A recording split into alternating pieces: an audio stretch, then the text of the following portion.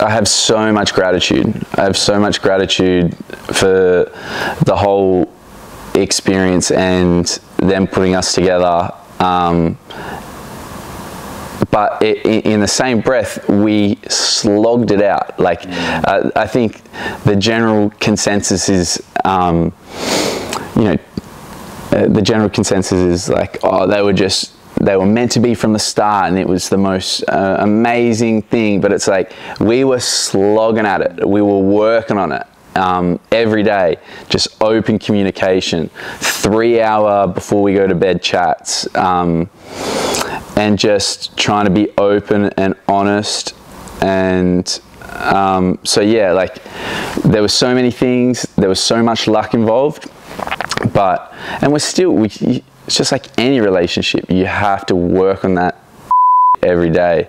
And um, so yeah there's a there's so much gratitude for so much and I and I was so I was so lucky. Um, but just like any relationship you've got to you, you've got to buddy work on it to get it to where it is